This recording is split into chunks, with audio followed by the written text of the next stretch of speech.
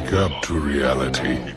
Nothing ever goes as planned in this accursed world. The longer you live, the more you will realize that the only things that truly exist in this reality are merely pains.